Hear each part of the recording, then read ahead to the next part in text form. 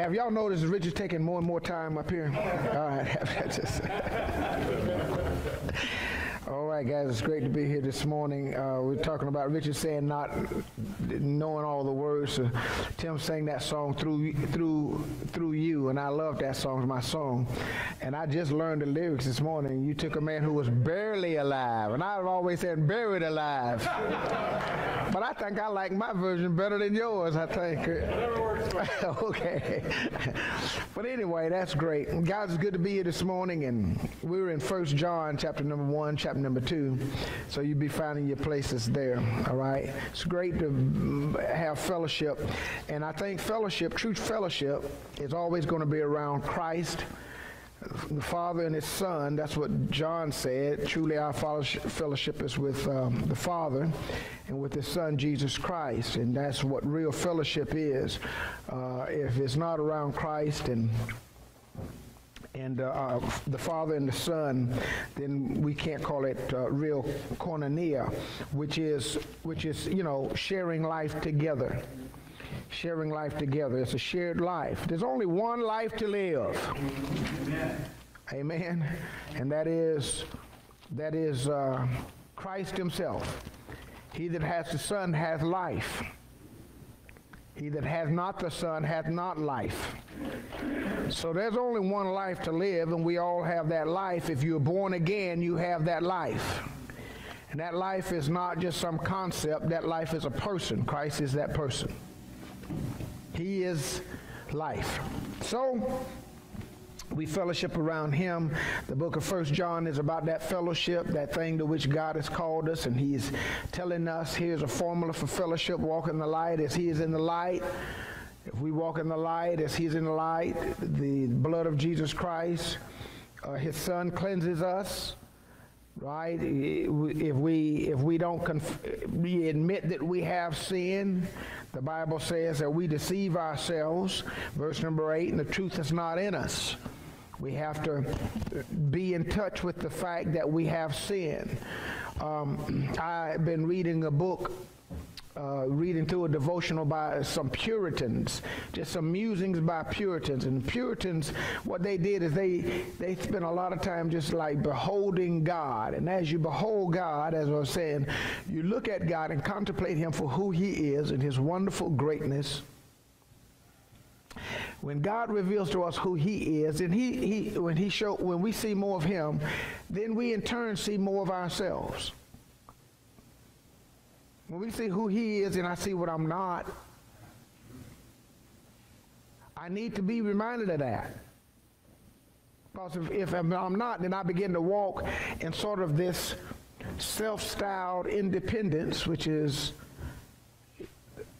absolutely futile and fatal.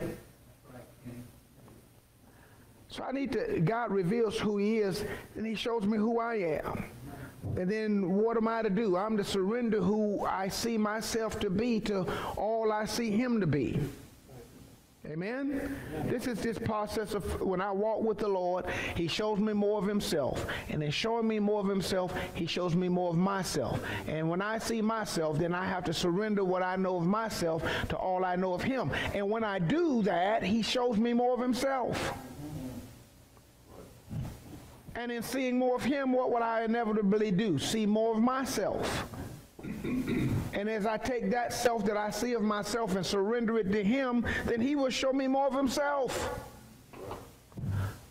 And in seeing more of him, what happens? I see more of myself. This is that thing where God keeps, and I keep walking with him.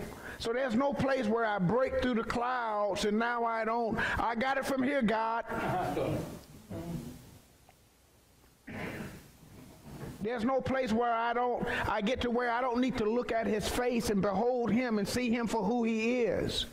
Because when that happens, I'll forget who I am. I won't see myself. I become delusional. You know what I'm saying? Like, like God knows about me, and then I forget. I think I'm something, and God says, "No, you're not." Who's right? I'm in delusion. It's delusional. People walking independently from God won't look at. I believe I've said this before. God is man's reference point. You can't know where you are, who you are.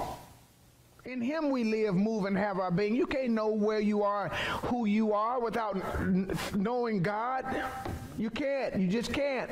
You can stand up on the stage and entertain and make a bunch of money. You can do all kinds of things, and people, you can play on a sports field, on a court, and all this, and people laud you and applaud you. You don't know who you are. You don't know where you are. You don't know God. You're lost. Lost people don't know where they are. You ever, you ever been driving? Men admit this. Men don't hardly admit this, but men, you ever been, and you realize, I don't know where I am. I missed my turn. You know what I'm saying? Where in the world? Has that ever happened to you? hey, let me tell you, I was driving one time, I was driving one time to Orlando. I was supposed to be preaching over in Orlando in a, in a week of meetings. I was driving to Orlando. I just bought a little pickup truck, Nissan pickup truck, and I had it customized. I had a sunroof in it, leather seats kicked back, and uh, had a good sound system in it. Uh, I mean, you know, they oversold me, really. You know, they said, they, yeah, they saw me coming. but it was my, I, it was brand new. It was a Nissan hard body, but it was it was murdered out. Is what the boys call it on the street. I'm I murdered it out. You know, had wheels on it and all that. I'm driving. One morning I got up. I was living at that time in Brunswick. I got up and I was driving to Orlando and uh, it was a beautiful morning. I was going to be preaching later that evening. You know, from Brunswick, it's only like three hours get to Orlando, and I'm driving, man, Beautiful morning, got my sunroof open, got my seat kicked back, listening to my CDs, playing, and I missed I-4. You know, you're going down I, I, 95 I, I, just, somehow I'm going through uh, Lauderdale, for Lauderdale, and I, I just wasn't paying attention. I missed I-4. When I came to myself, I was down in Palm City. No, not my, not quite. Not, I, and I said Fort Lauderdale. What's that? Daytona. Daytona. I'm going through Daytona there, and I just missed. And I, I, I and what's the name of that place? It not Palm, It wasn't Palm City. Is it Palm City? At Palm Coast, not, not Palm Coast. It was. it's it's it's it's you know the south of the yeah. West Palm. West Palm. No. Anyhow, I had passed I 4 an hour ago. I, Palm Bay, I think. I was pat on one hour. And here's a good thing, too, man. I was making good time on. you know, I, on, you know, have, have you been like that? Have you ever, have you ever been making good time on the wrong road? I was doing real good, but I was lost. I think there are a lot of people just like that today. They're making good time on the wrong road. Yeah, having a good old time. The, mo- the day couldn't be better. The time couldn't be better. Just relaxing, having a great old time. Everything's right with the world on the wrong road. Right. And we've got to understand that God has made us for himself. And so he says the formula for fellowship is always acknowledging my sin. He shows me who I am. I see who, uh, he shows me who he is. I see who I am. I bring that before the Lord. I acknowledge that. Uh, those things in me, oh God, help me, help me, help me, help me, help me right? Not ignoring those things. If I say that I have not sinned, I make him a liar and his word is not in me, verse number 10. But if I confess my sin, verse number 9, he's faithful and just to forgive me my sins and to what? Cleanse me. I, here's the formula for fellowship. Just keep confessing, keep agreeing with God. Can two walk together except they be agreed? Just keep agreeing with God, keep walking with God. Verse number one, my little children, right? My little ones. We're all God's little ones, my little ones. But certainly we are growing in the Lord, right? But we're his little ones, my, my little children. These things write unto you that you sin not. Stop right there. God does not want us to sin. Remember, grace is not an excuse to sin. Righteousness, the Bible says grace reigns through righteousness. That grace might reign through righteousness. Right? Sin used to reign under death. But now grace is to reign through righteousness. Grace does not reign at the expense of righteousness. When you're saved by grace, when we understand grace, Grace lays us low and we see God for who he is and it's amazing. It is to draw us to him, not to give us some self-styled independence to go live in a way contrary to his will because I'm under grace. It's to, it's to cause us to love him more. To love him more because of his grace and because he forgives me. It's not a get out of jail free ticket. That's disgrace. You follow what I'm saying? It's disgrace when we think that I can take the grace of God and misuse it. That's the day we live in sometime in our thinking about the doctrines of grace. That God does it and he saves us, but he saves us for himself that we might walk with him and enjoy him and have fellowship with him. And so, my little children, these things write out to you that you sin not. You know, that God does not. Today is February the 23rd, 2021. God says, I don't want you to sin today. I'm giving you this today so that you sin not. This is written so that I might sin not that I might not, you know, I sin not with my mouth today. I sin not with my eyes today. I sin not with my hands today. Right? I sin not with my attitude today. God says these things right out unto you that you what? Sin not. Let's let's embrace that. What that, what a challenge that is to me that you sin not. This is this is all grace now, but God says, I, I, forgive sins, but I'm writing this that you sin not. I'm not writing this to say, you know, I got you. You got to hook up. I'm writing this that you sin not.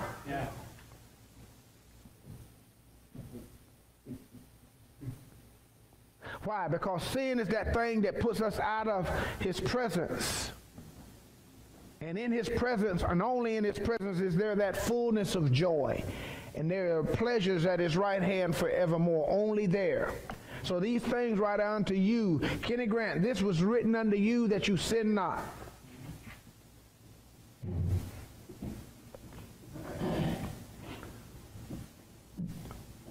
Listen to what, look over here at uh, Matthew chapter number 26. Matthew chapter number 26. In Matthew chapter number 26, this was where Jesus goes into the Garden of uh, Gethsemane, and he is with his disciples, and he he leaves eight at the foot of the mountain, foot of the hill. He takes three with him a little further on to the garden. One of them had gone to conspire with the scribes and the Pharisees who were seeking to kill Jesus. So you had one that was gone, eight a little further off, three brought in with Jesus, Peter, James, and John. And then Jesus himself goes a little bit further. Right? That's kind of like, if you look at that, that's kind of like the people who named the name of Christ. You got some of them just gone.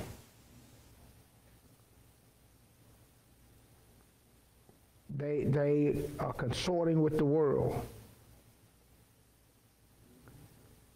Vast majority of them somewhere distant.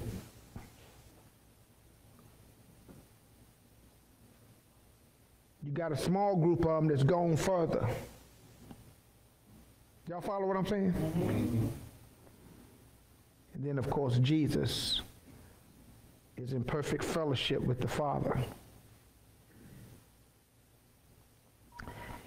Um, here, Jesus is praying and coming back, and his disciples are falling asleep and all of that. And he, but listen to what Jesus says in verse number 41. Watch and pray what? That you what? Enter not, or lest you what? Enter into temptation, or that you enter not into temptation. These things have I written unto you that you sin not. Here is a concise and balanced approach on how to sin not. Here is, here is this. What? Watch and what? Pray. So there's the, there is the, there is, man, this thing, there is my side of it, and there is what? God's side of it. I mean, I watch and I pray.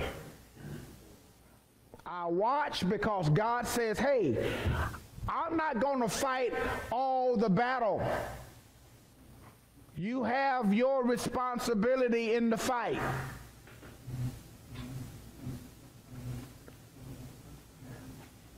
So oftentimes God says, listen, I'm not going to fight instead of you, I'll fight with you. You follow me? So you got to fight. So a part of the fight is watching, diligence, vigilance. Watch. Because there's a thousand temptations, a thousand ways to sin, a thousand things that are beating at the door of my soul. And you got to be watchful. You got to be vigilant. It's like, you know, I listen to Richard Barrow and different people who have been on the battlefield. I've never been on a battlefield. You know, I'm talking about where a fire team is watching through and there are booby traps and mines and there are guerrillas and they're, I mean, all over the place. I mean, there is no time for slacking off. It's got to be like diligent and vigilant and watchful because this ain't no playground. This is a battleground. And so he says, watch and pray, lest you think he's going to fight every battle.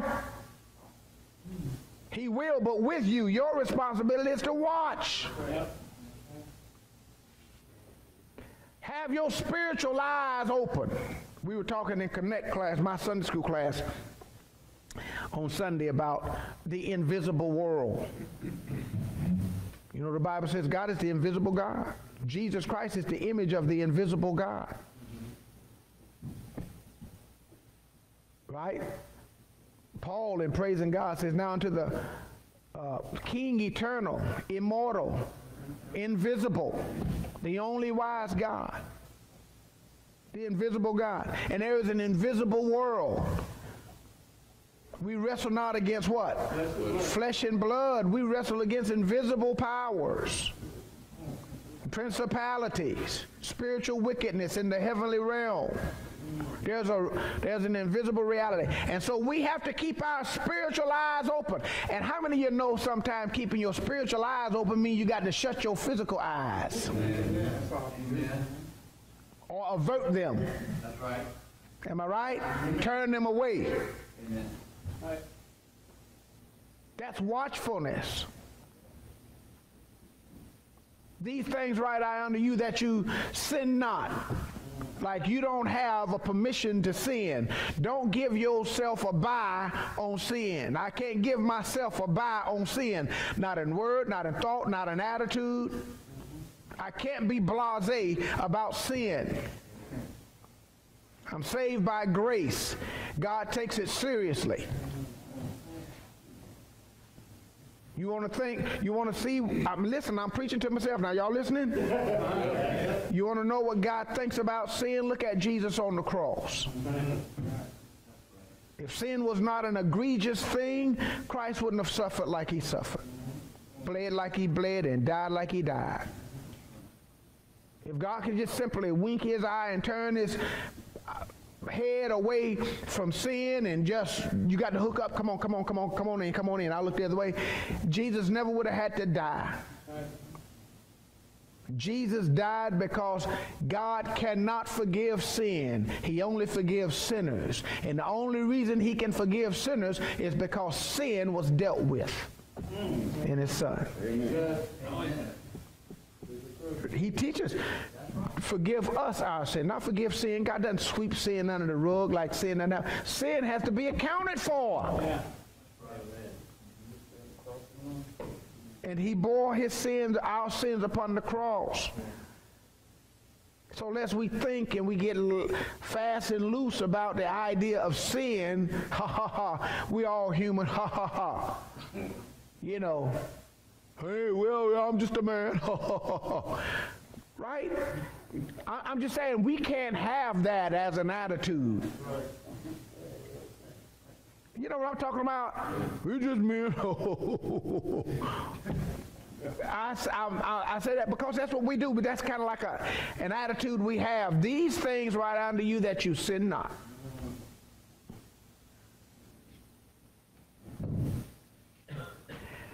it's kind of like, and we like, oh God, come on, just a little bit. I know that's what your flesh is saying. What, what, reason I have to live if I can't see a little bit? See, that's that, that's in you, in me, that's that fleshly nature, that old hellish, damnable, fleshly nature that needs to be mortified. We think we got to march on Washington. We got to change these people, that people, that other. Let me show you where the fallen kingdom is right here. Yeah. And that old flesh that will behave and try to get in place and act religious, when you start talking about this right here, it begins to raise his head. Because you know what you're talking about now? You're talking about mortifying the deeds of the flesh. And the flesh don't want to die now. It'll go to church with you, but don't kill me. I'll go to church, I'll sing in the choir, I'll be a deacon. Hello. I'll preach. I, you know what I'm saying? I'll do anything. I'll act religious, I'll get in the choir. And so much of it's done in the flesh. I'll join the church. Yeah, just don't let me go. Just don't let me go. Don't let me die. Don't mortify me. Now, ain't nobody got to die here. We can peacefully coexist. Can't we all just get along? What I'm talking about. You start getting down here where you're talking about mortifying the deeds of the flesh, these things right unto you that you sin not, not with your eyes, not with your attitude, not just to, you know, can I dip my toe in there? These things right unto you that you sin not, that's when the flesh said, now, wait a minute now. This is unreasonable. We got to talk. This is, this is, uh, that's little, you be a little zealous now. That's a little radical.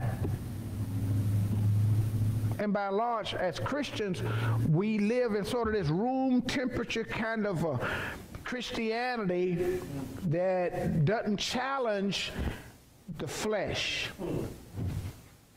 We don't challenge the notions of the flesh. We don't challenge the flesh's insistence of its right to exist. Y'all hear what I'm saying? The flesh, we are not debtors to the flesh. Hey, the flesh tells you I got a right to exist. I'm talking about that fallen nature. And we pretty much don't even challenge the flesh's rights to exist, but it we it doesn't have a right to exist. Jesus died for every inch and ounce of who I am. You follow me? And everything in my life is to be to his honor and his glory. These things write unto you that you sin not. And Jesus says, watch and what? Because your best watching still needs the strength of God. So you watch like a vigilant soldier, but you pray like a little dependent child.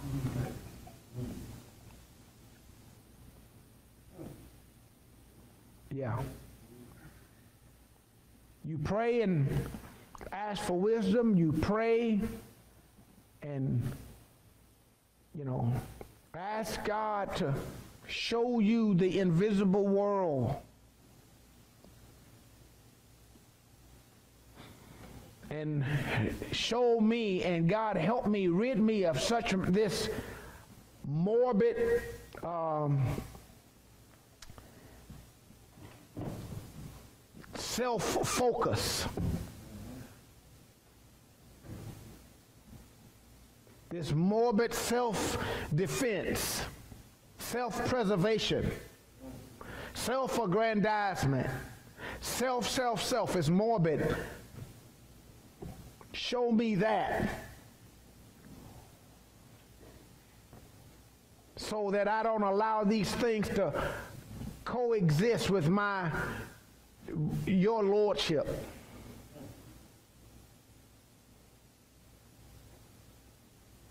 So watch and pray. That you enter not into temptation. And then see here in this verse, there is this, Jesus said this is, is it is true.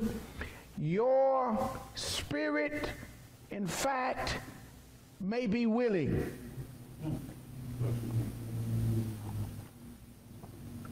but your flesh,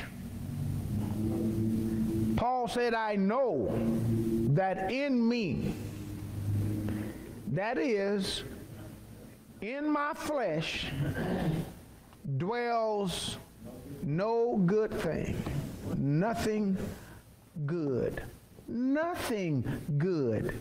Do you, have, have, have you done business with that? Nothing good.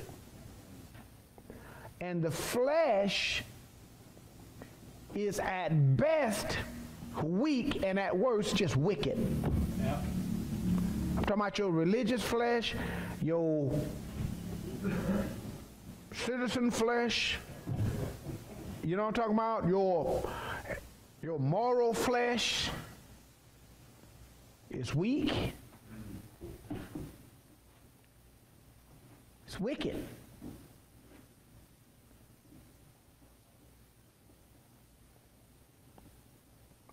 That's true of every believer. I believe both sides of that thing is true. Every one of us. I believe that a child of God if a person is a child of God, there is a willingness to obey God.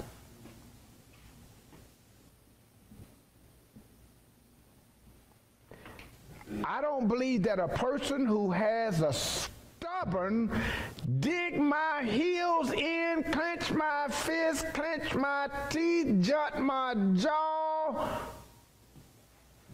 rebellion against the will of God,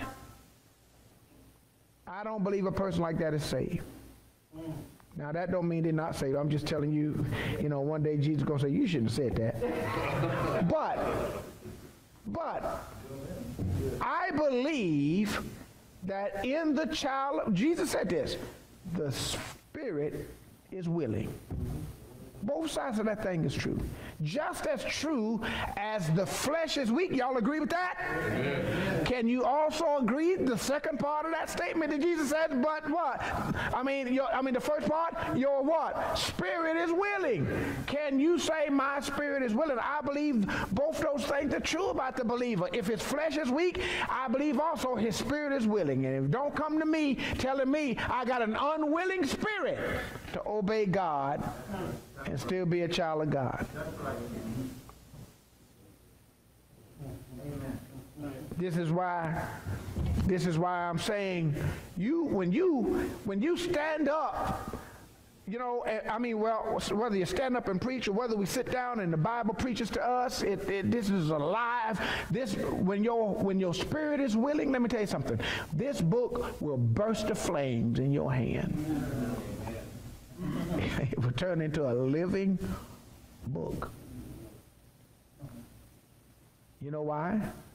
because you're walking with God. God shows you something about himself. He shows you something about himself. You believe it, you receive it, you accept it, you acknowledge it, you, uh, you, you confess it. You follow me? Then God shows you something else. You say, man, I, I didn't, God is showing you himself. So we walk with God.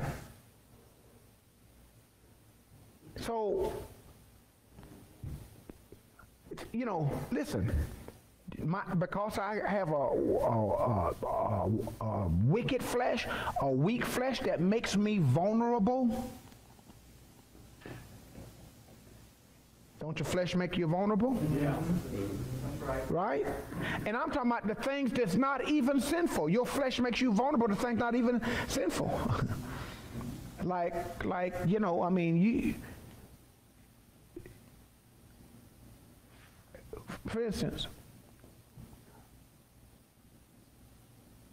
Adam was attracted to Eve before he ever sinned.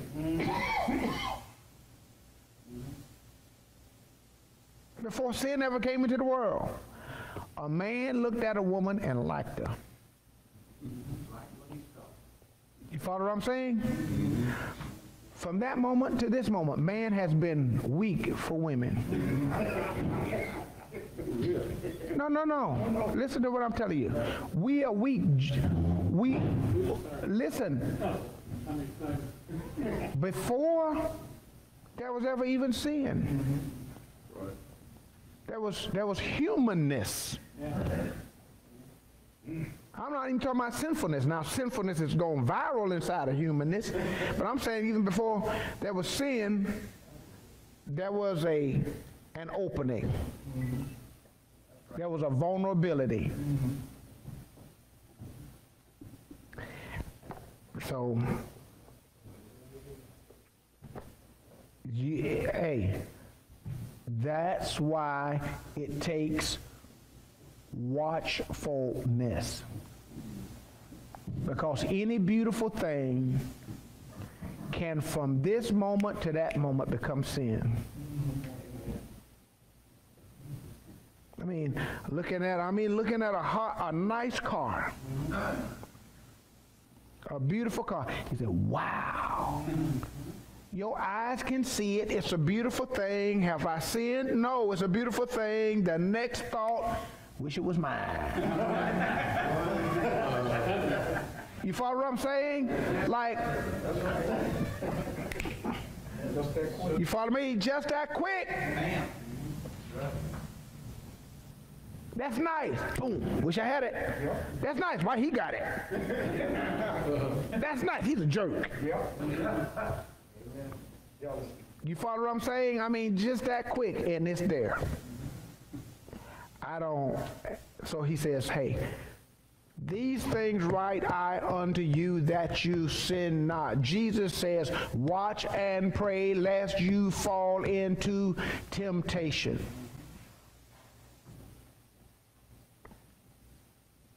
And he wants us to live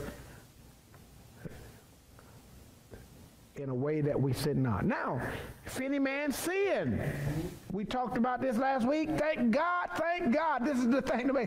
Thank God. If any man said what? We have a, an advocate. We have a paraclete. We have someone with the Father advocating. It, it, pictures Jesus, at least in this context, as a, as a defense attorney. You follow me? And, and, and the idea is now, it, in reality, there is no doubt about our salvation or the doubt about our sin, but it pictures Jesus as being an advocate with the Father, like a, a, a, defense attorney. As I'm being accused, the accuser of the brother, and it's the devil who, who says, like he says, he was accusing Job. Job is just in it for what he can get out of it. You, you touch Job, and Job will cuss you to your face. You follow what I'm saying? We have an advocate with the Father. And there are these wounds in his hands. There's wound in his side. There are wounds in his brow.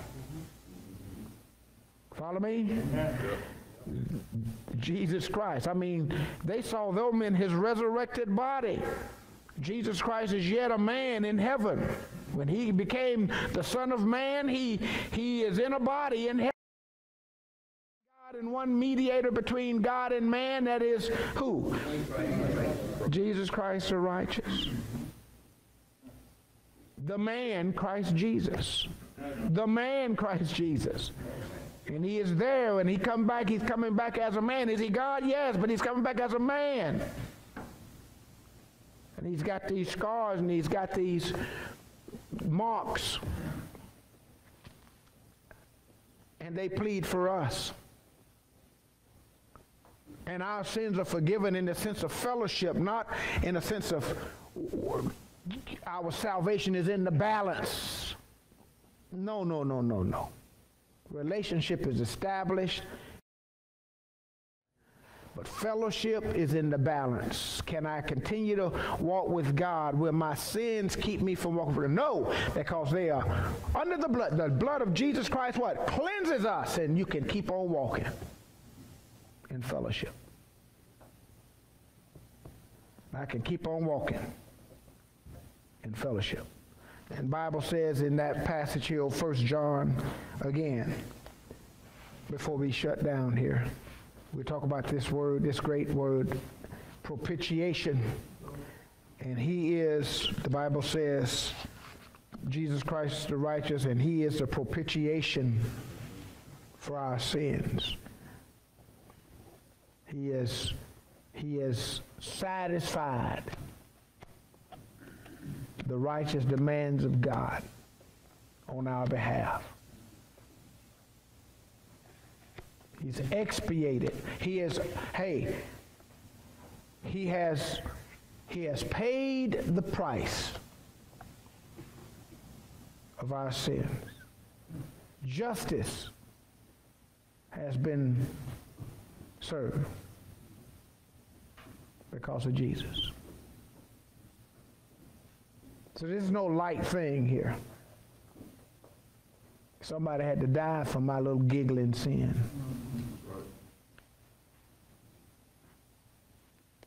Somebody had to die for my rebellious sin, my careless sin.